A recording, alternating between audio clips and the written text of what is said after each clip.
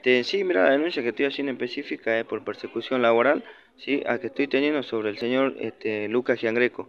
Él es el que está haciendo la persecución esta, a raíz de que la está haciendo, de por no prenderme, en llevarme cosas decomisadas, cosas que se secuestran en la calle, son cosas que él las trae para aquí y la, se las reparte con la señora Rosa Farfam, que es nuestra compañera de la tarde, como se las reparten entre ellos, al yo haberlo visto, este, me quiso dar un poco y como no le recibí, este, a raíz de eso me empezó a hacer, persecución.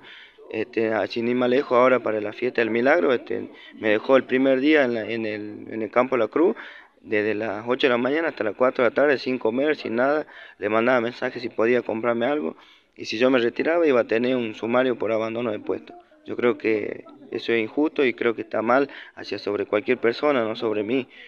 Este, y quería hacer hincapié en, no solo en eso, sino que tiene este, varias denuncias, tiene este, denuncias este, por, violencia de género, que acá la tiene, este, otra denuncia sobre otras personas que quieren el traslado, porque ya no aguantan el, trato, el maltrato que hace él.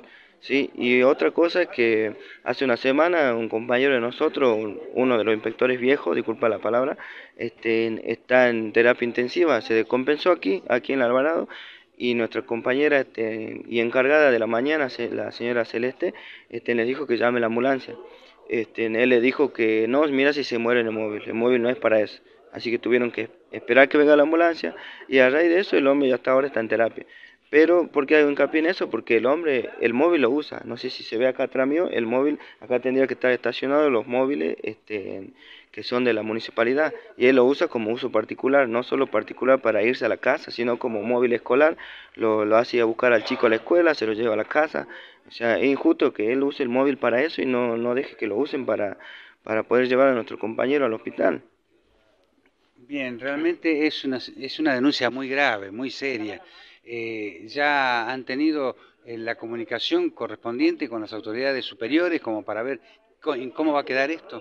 Eh, sí, mira, no sé si te servirá esto, nosotros somos este, 13 personas que entramos acá como inspectores, éramos ex soldados, ¿sí? nosotros sabemos lo que es este, en una cadena de comando y la cadena de comando de nosotros era el señor Luca, que estaba señalado por dedo, no, no por decreto. Eh, después de él pasaba el señor este, Nicolás Madrazo, que es el hijo de la señora Susana Pontusi, y como última instancia la señora Susana Pontusi. Yo hice este, en toda y cada una de las cadenas de comando, y la señora Susana fue el pum porque directamente ella no me dio no me dio pelota, disculpa la palabra, pero no me dio, este, ella me prometió que lo iba a sacar del cargo, lo iba a correr de aquí, este, si yo le daba prueba. Le mandé la prueba a la hora, le mandé la prueba, la foto, le mandé la denuncia, le mandé todo y lo sigo viendo acá. Y a raíz de que él habló con, ella habló con él, al otro día él vino y me trató de negro, de albañil, de pobre, o sea, siguieron estando en las discriminaciones peores. Entonces yo le dije a ella, si ella siguió así, los pasos de ella eran así, mis pasos serían otros que, que, son estos, venir a los medios y hacer público todo lo que está pasando acá en espacio público. No solo conmigo, sino con varios compañeros, con inspectores viejos. Este, y bueno, queríamos hacer hincapié también en la desaparición, lo que es bromatología, que acá el, el caballero le va a comentar bien todo lo que pasó a raíz de esto. Bueno. Muy bien, eh, realmente esto es muy serio, tiene que seguir hasta las últimas consecuencias porque los trabajadores deben ser respetados y si hay cosas que son eh, no están claras que se aclaren totalmente, ¿verdad? Es así, sí, lo que no está claro se tiene que se tiene que aclarar y se tiene que aclarar parece que con la parece que se tiene que aclarar con alguien de más arriba, con alguien de más cargo, porque la gente que está acá parece que no o como él nos dijo a nosotros somos gente inoperante, parece que la gente inoperante es él.